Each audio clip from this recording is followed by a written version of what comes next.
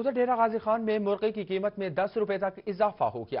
Market میں مرغی کا گوشت ڈھائی سو روپے فی کلو کے حساب سے فروخت ہونے لگا۔ آشر اشفاق کی یہ رپورٹ۔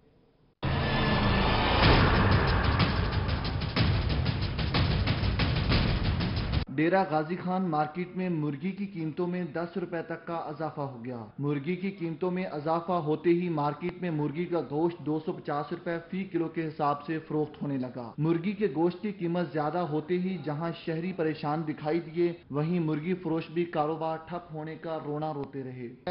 یہاں بندہ نہیں ہے، ڈھائی سو روپے کلو گوشت مل رہا ہے، ریٹ مہنگے ہیں۔ اس لیے نہ ہم مال دو سو، ڈھائی سو کلو بیچتے تھے۔ سو کلو بھی ویسے رمضان ہے، ہوٹل وغیرہ بند ہوتے ہیں۔ اور ریٹ انہوں نے اتنا کر رکھا ہے ہائی کہ پرچوں کا تو گھاگ بالکل بھی نہیں ہے۔ شہریوں کا کہنا تھا کہ حکومت کو چاہیے کہ وہ رمضان المبارک کے بابرکت مہینے میں مرغی